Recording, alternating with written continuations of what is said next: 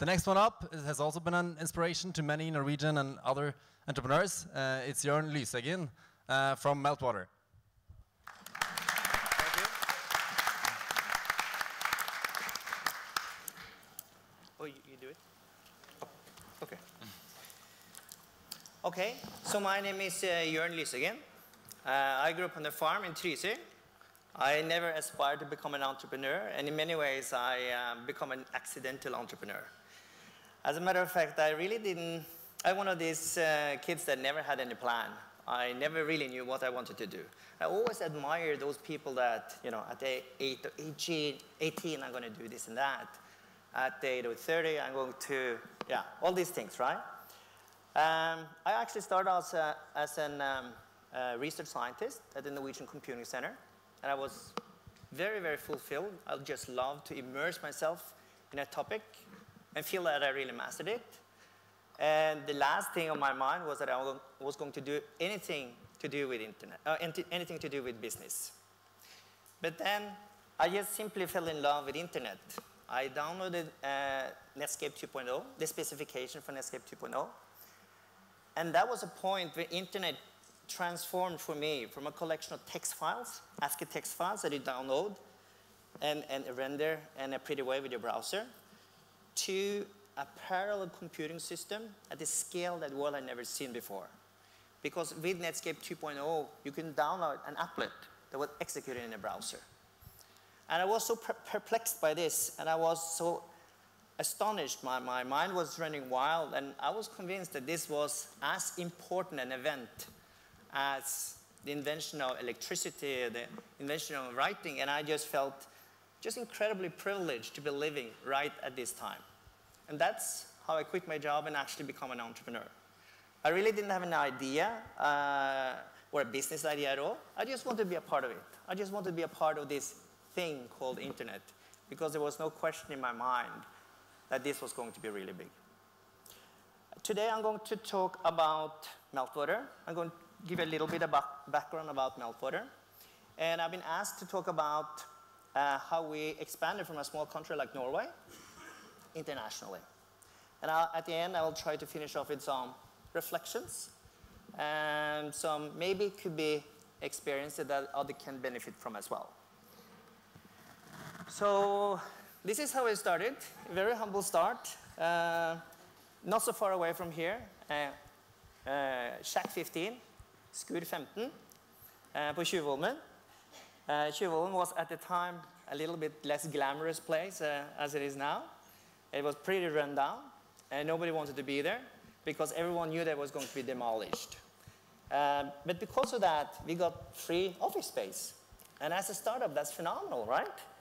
You want to cut uh, all the costs you can. And not only that, we got 26 obsolete computers from uh, Nettavisen that they didn't use anymore. And we were carefully picking out the pieces from the different computers that worked. And that's how we assembled our first um, server park. So this was the start. And I, you know, we had all sorts of troubles initially. I, am not going to go into that because I only have seven minutes and I have four minutes left. But um, we, we decided to go global. Um, what we do is that we mine online news and social media. So we help companies across the world um, understand their clients better, understand the competition better, and understand a general ecosystem. Coca-Cola, for example, which is a client of us in seven countries, they used our system in the past to understand how their brand was associated with youth obesity, which was a big issue in the US uh, a few years back, uh, because at the time they had lots of vending machines in high schools and schoolyards, and they were really beaten up because of that. Uh, today, we have 20,000 clients, we have 900 employees, we, nine, we, are, we have clients in 90 countries, and we have 50 offices across the world. And we are today the global leader in media intelligence. Oops. One piece. Okay. Um, all right. Uh, so some reflections of what happened. So when we started out, we knew in our heart we wanted to be global. Because if it didn't, you know, it wouldn't be worthwhile all the hard work. And one of the first things they internalized was that Norway is a very small country. I used to say that there are bus stops out, uh, outside of New York with a larger economy than what we have in Norway. So if you want to create a significant company, you need to go abroad. And I think a lot of the challenges or a lot, a lot of the problems with Norwegian companies is that they're only Norwegian or primarily Norwegian. Most of the business is from Norway. And that, of course, significantly limit the size of the business itself. The thing that we focused on from a very early stage was culture. Because if you want to be a global player, we wanted to be the best in the world, that needs to be ingrained in the culture. And one of the things that I come to appreciate over the years is that of all the factors that goes into building a company, by far the most important factor is culture. Because culture sets aspiration level. Do we want to be the best in Norway? Do we want to be the best in Europe? Or do we want to be the very best in the world? Huge differences, huge ramifications for where you want to be. Another thing is it aligns people's decisions, it aligns people's uh, efforts. So it is an incredibly important factor in building a company. The second factor I would uh, focus on is talent.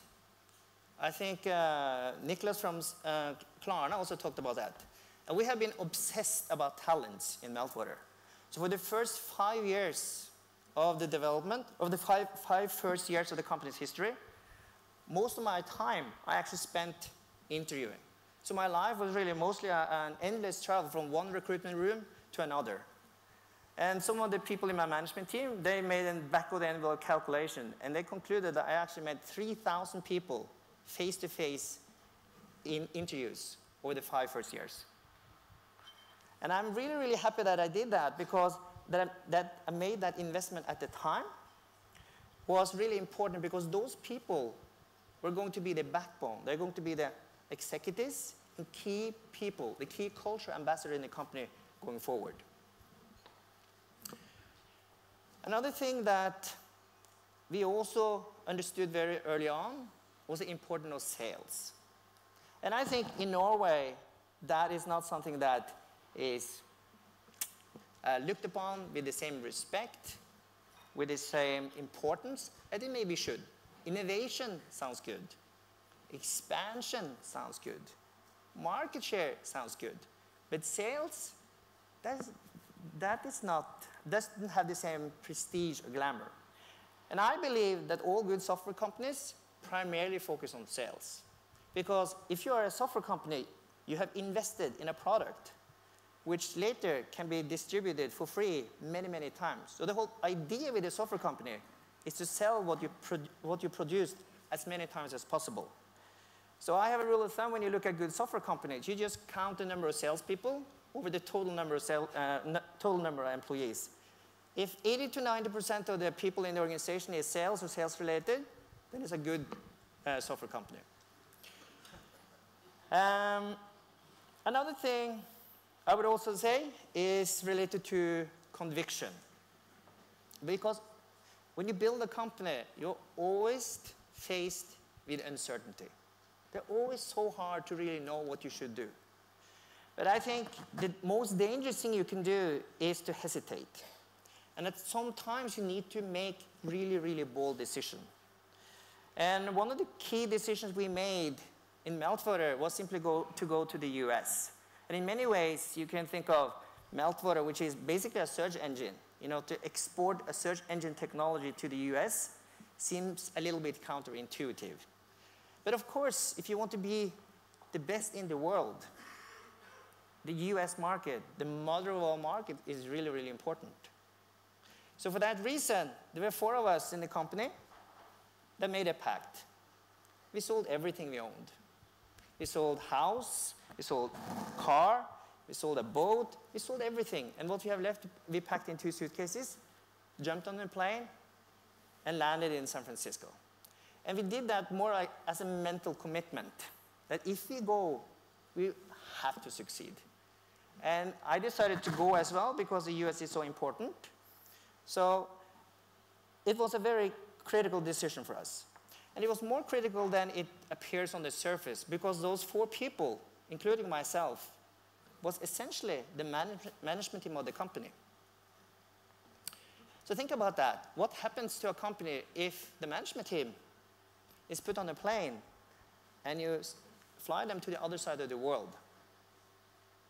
Well, in our case, the company did better than ever, surprisingly.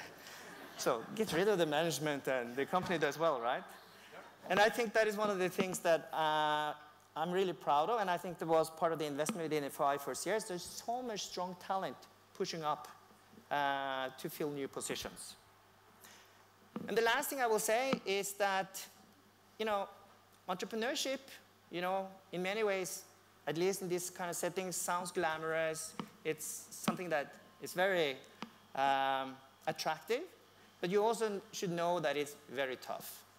This is not for everyone. It is really, really challenging.